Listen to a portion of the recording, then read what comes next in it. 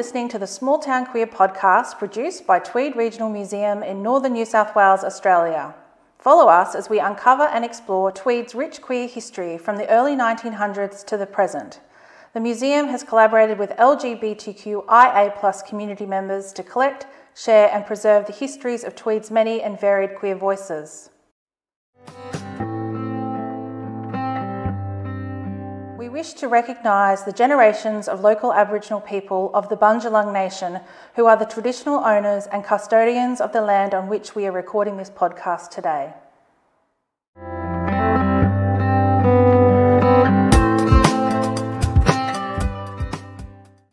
My name is Emma Shield. And my name is Erica Taylor, and we are the curators of the Small Town Queer digital project and exhibition. Hello, on today's podcast, we're talking to Uncle Ian Teacosy Gray. Teacosy is a historian and curator, activist, radical faerie, and a 78er, having marched in the first Mardi Gras in Sydney. Teacosy moved to the Northern Rivers in the mid 1970s, which he considers his tribal and spiritual home. Teacosy has helped to found many Northern Rivers community and social groups, including the Radical Oz Faeries, Tropical Fruits, and more recently the Older Lesbian and Gay Association, which is a queer elders support group. Teacosy is also a community historian, having co curated the Tropical Fruits Queer History Project and the Northern Rivers Queer History Project with his longtime friend Peter Mitchell. And in 2017, Teacosy curated the exhibition Lismore Has a Diverse Past, shown at Southern Cross University. Welcome, Teacosy, and thank you for joining us for the museum's first ever podcast series. My pleasure to be here. First, can I start by asking you, as we're asking all of our interviewees, how do you identify as a small town queer? Wow, that's an interesting question because I don't think I ever thought of myself as a small town queer. Um, but the truth is, since at least full time 92, I've been living in a small town uh, near Nimbin actually, or the mm-hmm. on the outskirts of Nimbin, uh, and have been a queer person all my life. So I am a small town queer in that sense uh, of living in a small town. And my my major centres around the Northern Rivers were Lismore and Byron Bay and Murwillumbah, where mm. I spent spend my time. And you've always, as I said in your introduction, have you've always had this strong connection to the Northern Rivers. You consider it your spiritual and tribal home. Well, initially I went to what was called the Aquarius Arts Festival, uh, run by the Australian Union of Students at different universities. I went to the 72 version in Canberra, and that was sort of my first connection in a way with a a, large hippie organisation because there was a lot of hippies hanging out in Canberra over the summer. Uh, a lot That's of them were university students. That. And that was the precursor to the Aquarius Festival. Following, two years later, the same festival, uh, they decided to put it on in a rural area and it ended up in Nimbin. And for those of our uh, those of our listeners who maybe aren't familiar with the Aquarius Festival, can you give us a little bit of a history? Yeah, look, my understanding is because I actually didn't make it to the Aquarius Festival. Okay. I ended up uh, in Nimbin the year after, uh, in 1975. But the festival, so so as I said, the um, the Australian Union students decided that they would have a rural festival, and they attracted two gentlemen. Um, Johnny Allen and Graeme Dunstan to go looking around the country uh, because the festival would be in a different capital city every two years at a university. Uh, and they ended up in the Northern Rivers region. I think they talked to people in Mullumbimby and then Nimbin and in Murwillumbah and then settled on Nimbin. They called a meeting at the town of Nimbin and 100 people turned up. They had no idea what they were saying yes to, but they said yes. We're a dying dairy town, and uh, this sounds like a great thing. Some time later in 74, um, thousands of young, uh, mostly probably university students, mm-hmm. but also uh, just young alternative hippie type people turned up in the Northern Rivers. And it's had an everlasting effect. I mean, you can still feel the influence today, and people, I think, still are drawn to the Northern Rivers because of the, the counterculture that exists here, which is now really part of the culture, which is one of the great things about small town queer is I feel like it is centering those people, particularly those people who are queer or LGBTQI plus within that community.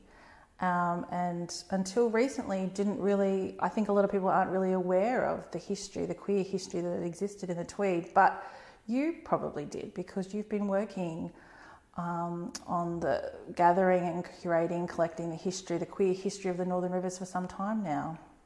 Well, that's true, and uh, and I mean the reason I ended up coming to the Nimbin Northern Rivers area was because uh, I had a, a, gay school friend um, who I kept in contact with after school, and he teamed up with seven other gay men from Melbourne and Sydney, and, and they decided to go back to the land, and they bought a block of land out the back of Nimbin mm-hmm. uh, to create a commune, and uh, they were having trouble with the weed inspector in 1975, and they Rob rang me up and said, "Come up and help. Uh, we've got 450 acres," um, and hung out with them. And I discovered that there was a small but fairly hidden LGBTIQ community in the mm. area, mostly um, based in um, Lismore. Lismore. But I also heard about this place called Mandala. For our listeners who maybe haven't visited the Small Town Queer website yet, uh, Teacosy has authored an article all about Mandala and the radical faeries, which we'll talk a little bit more about soon. I just wanted to uh, first ask you though, what got you interested in, in, intentional or community or communal living? Yeah, look, it's an interesting question, and I often ponder. I mean, I grew up in quite a communal family.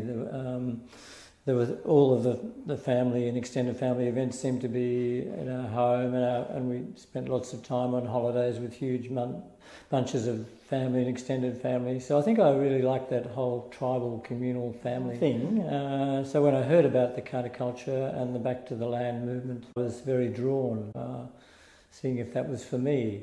And I spent a little bit of my um, early life uh, in the country, visiting friends of my father's uh, my dad's uh, old army mates really, and I thought, oh yeah, I like like being in the bush. And you've stayed.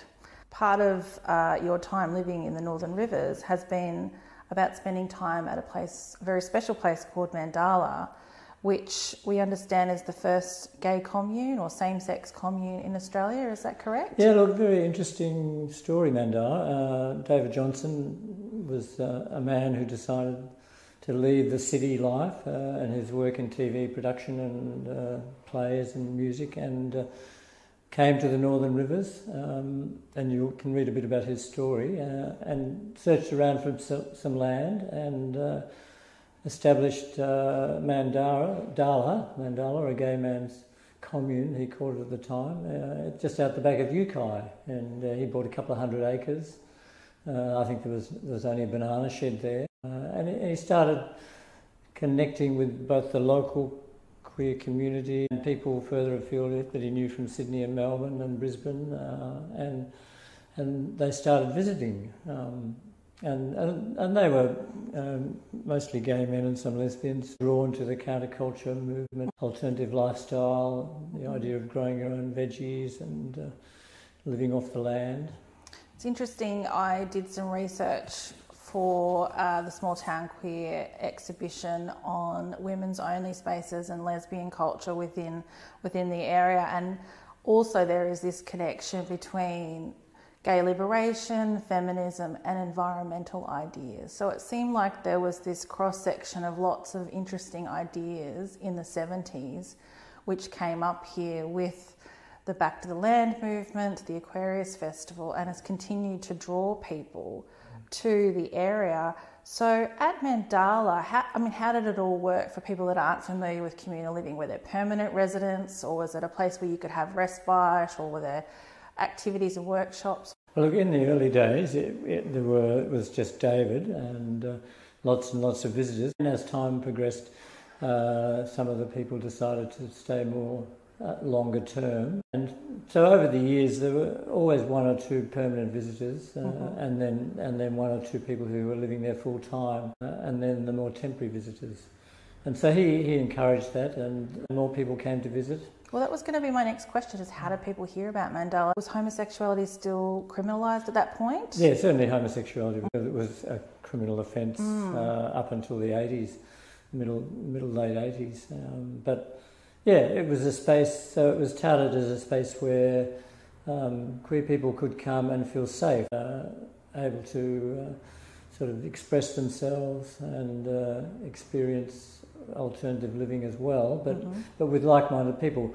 Because I, have been very interested in the visibility of queer people in the hippie um, communities in the 70s and 80s, and, and, they were not very visible. I mean, I haven't really been able to find out much that happened in a queer sort of way at the Aquarius Festival, for instance. So Mandala was a unique place. There were also some women who came to the area uh, in the late 60s and early 70s, uh, some lesbian women who were um, fleeing maybe marriages that were not working for them and, and bringing their children up here, and they open up their homes uh, as a place to spend time. That's right, and we were fortunate to uh, meet one of the women behind A Slice of Heaven, which was one of those mm. properties that you're referring to. And interestingly, she gave that reason that you just did about, um, and it actually was a case of her partner relocating up here with the children, looking for a different life. Um, but also, it was a place,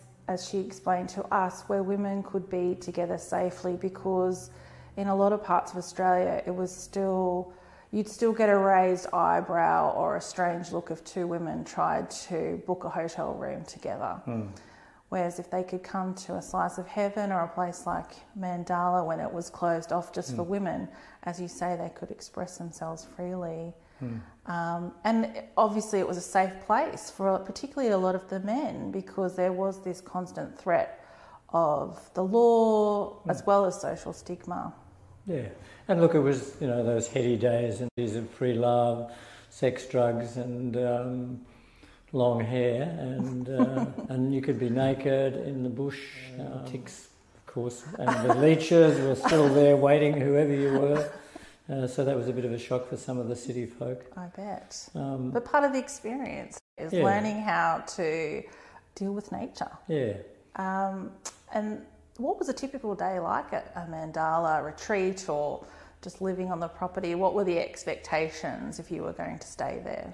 Yeah, well, look, um, for those living at Mandala, I mean, there was the routine of communal meals mm-hmm. and uh, there were large vegetable plots, uh, so people were engaged in growing vegetables. There was the, the routine maintenance of uh, looking after a large piece of land with weeds in this cra- crazy climate where things grow so quickly. Then there were regular gatherings a couple of times a year where um, people would come from far and wide to spend time, and that's when uh, it would be uh, a time for workshops and activities and fun and games. Um, we used to have gay Olympics and do maypole dancing, and and we sort of took a whole bunch of rituals from the sort of counterculture from and from the mm. Druids some and Eastern philosophy in Indian there, Eastern yeah. philosophy, and put all that together. So a day was uh, sometimes just. Uh, sitting around sipping chai, talking, connecting to one another, yeah, connecting to the land.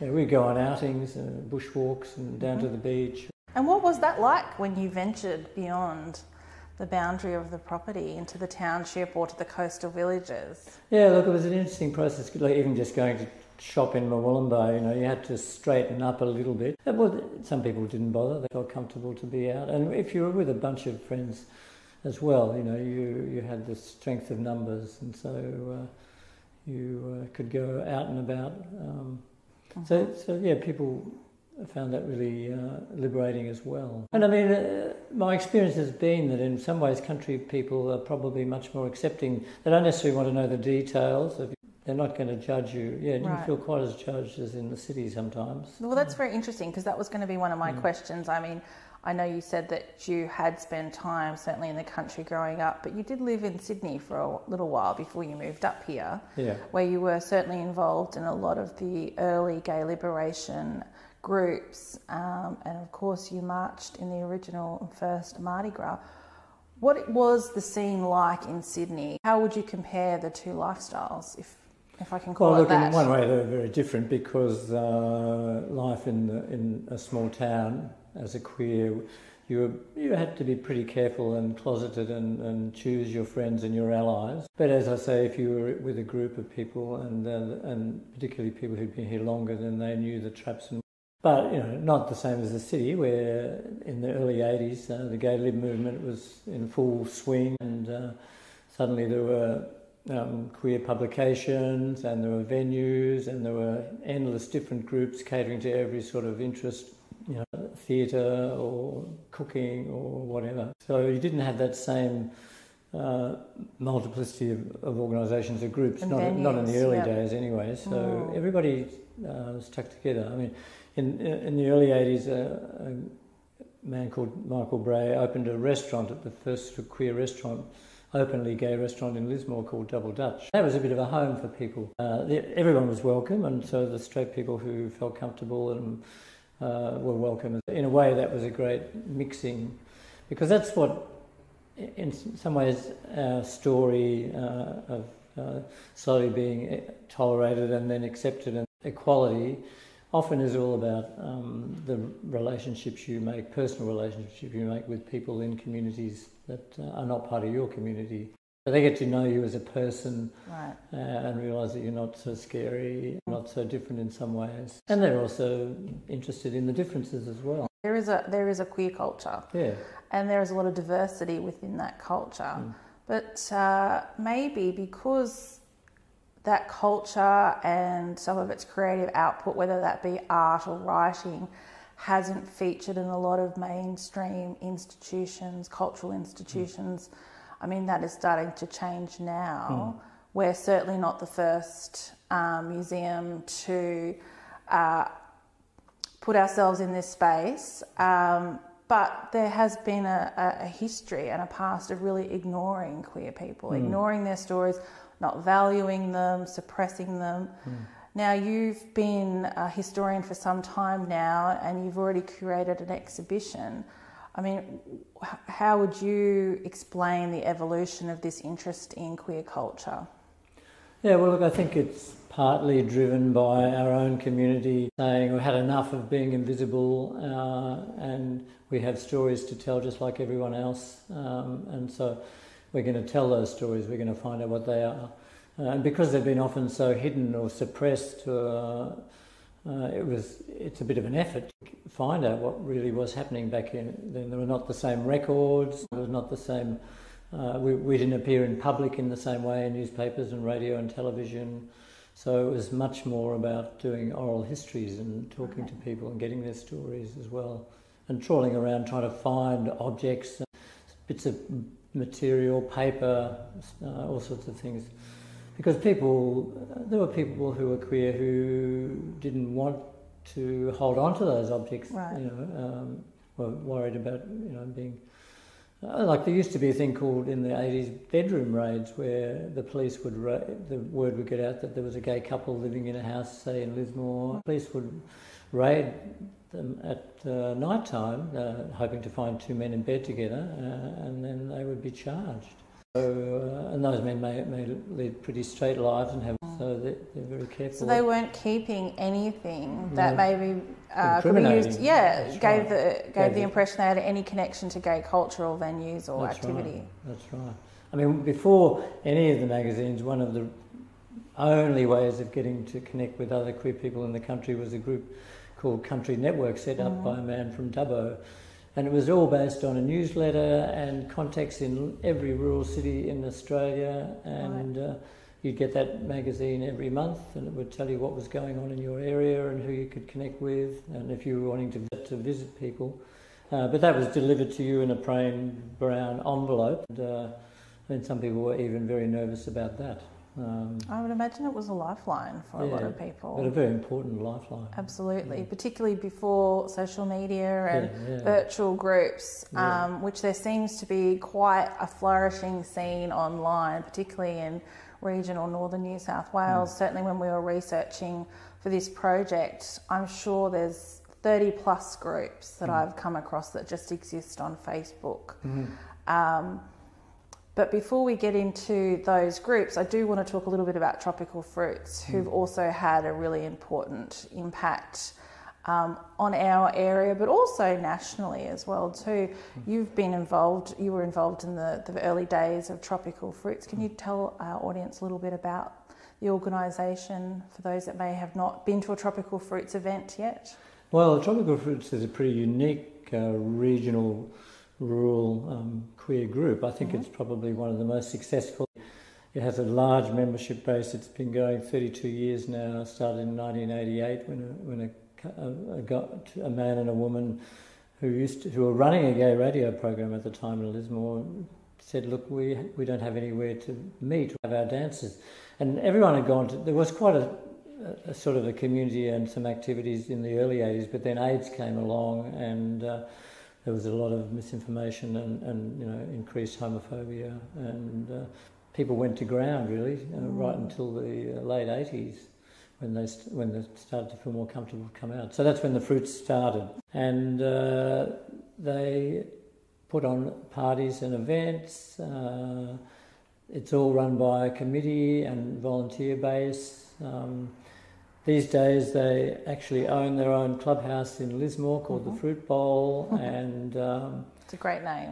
It's a great name, and, and that's like a, a community centre, place to store all of our props and. Uh, to have uh, events and activities, movie nights, um, afternoons. Something um, for everyone and all ages, yeah. which is what I, I really love about the community is everyone is involved, everyone is included. Mm.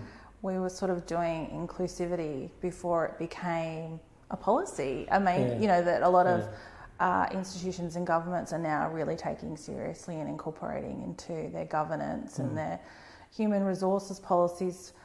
This is the great thing about the community, and you've touched on this um, several times, is that if it didn't exist somewhere in the mainstream, then the community built it for themselves, yeah. Yeah. whether that was tropical fruits yeah.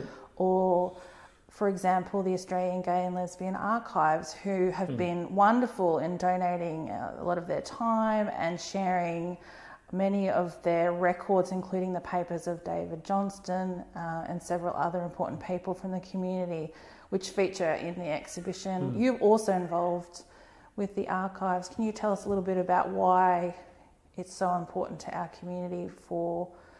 To, to have these, these organisations and these places that we can gather, but also mm. curate and record our history.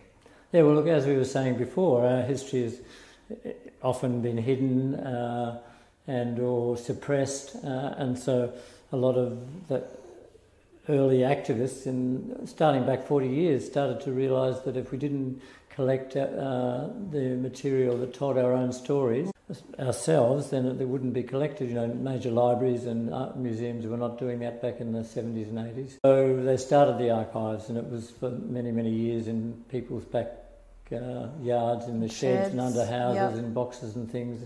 Uh, but anyway, they've progressed to uh, having a home for the last 15 years uh, in Melbourne. It's a national uh, lesbian gay archive.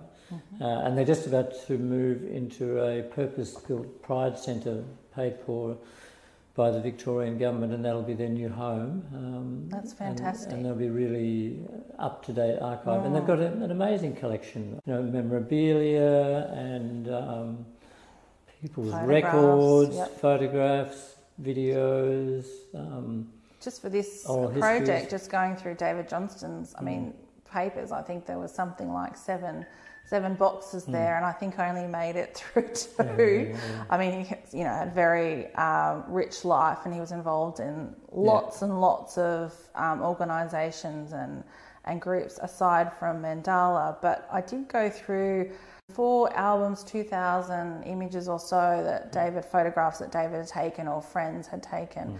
And you've been assisting the archive, I believe, with trying to identify some of the people in those photos or when they would have been taken? Yeah, I've spent some time down in Melbourne going through David's collection and uh, making notes and, and mm-hmm. uh, each each collection has what's called a finding aid so mm-hmm. everything is documented and the more information the better and it's all searchable a large amount of the periodicals and newsletters and, and uh, occasional um, information sheets produced by the gay community, the, the, queer community in the last 40 years has now been digitised.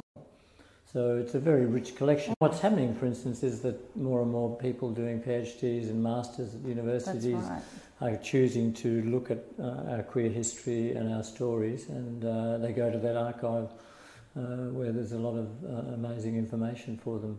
It's a wonderful mm. resource, and again, we have to thank the community mm. for mm for creating that space, for doing that because it wasn't being done, or if it had, if there were objects or stories, they weren't necessarily being interpreted correctly or mm. or managed in a way that they would last. But now um, they're in a they're in a proper archive as opposed to someone's back yeah, shed. And, yeah, yeah. Um, and I mean that's what one of my roles been in this setting up this queer history project in mm. the. Northern Rivers is just being really uh, harassing people to keep looking in their cupboards and in their boxes and in their sheds and see if they've got anything uh, about you know their story as an LGBTIQ person.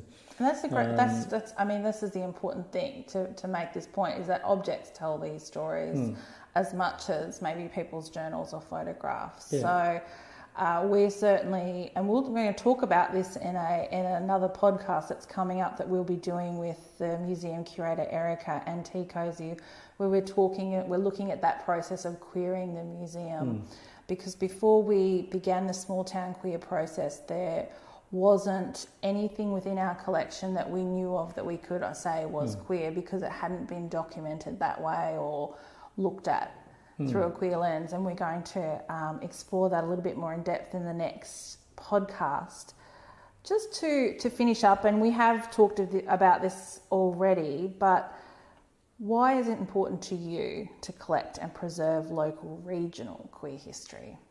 Well, I, I believe that history teaches us, uh, learning about the past teaches us about you know where we are now, where we will, we can be in the future, and it certainly gives um, LGBTIQ people uh, a sense of pride that we've always been around, we've That's always right. been here, we've always had a story, uh, and uh, it's time to bring that story out into the open and uh, not be hidden away.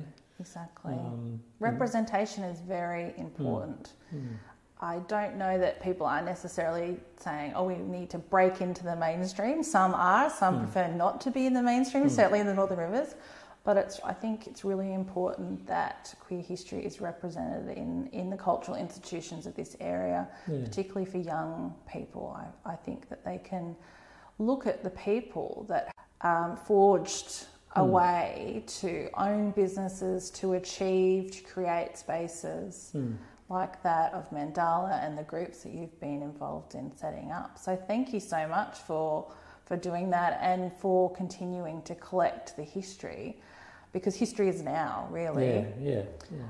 And just finally, is there anything you would like to let our listeners know about that you're working on?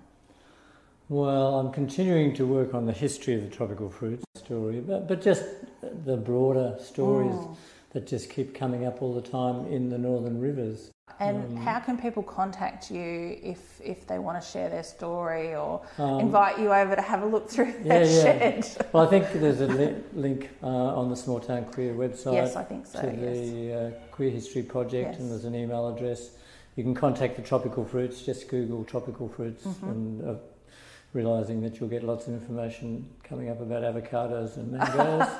but just not tropical fruit world, the yes, tropical fruit. Google tropical fruit gay, and then That's you'll, be, right. you'll be in there. That's and, right. And, I'm, and I was looking for people to help uh, the sort of the mundane thing of sorting through records and digitising stuff, yes. uh, and doing oral histories as well, because that's really important especially the older members of the queer community in this region, yes. getting their stories down before they pass on. Um, they yeah. certainly have a story to tell. They've seen a lot of change mm. in a hmm. really short period of time. And that's where the Small Town Queer online exhibition here at the Tweed Regional Museum is so valuable because it's an ongoing thing and there's space there to tell your story. So I really that's encourage right. people to look at that website and uh, add any story you've got about your connection with the Tweed Area. Yes, definitely get in contact with the museum if you've got a good connection to the Tweed and and with um, Uncle Ian Teacosy Gray via the Tropical Fruits website. Well, thank you so much for being a wonderful collaborator on this project My and pleasure. for agreeing to be interviewed for the Small Town Queer podcast. No, no, and thank you for your work here at the museum. Thank you.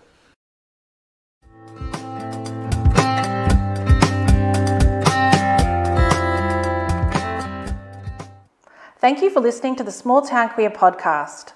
To hear more Small Town Queer stories, subscribe to the series and like, share, and review this episode. And check out the Small Town Queer playlist on Spotify, curated by museum staff and project participants. For more information about Small Town Queer, visit museum.tweed.newsouthwales.gov.au forward slash small hyphen town hyphen queer.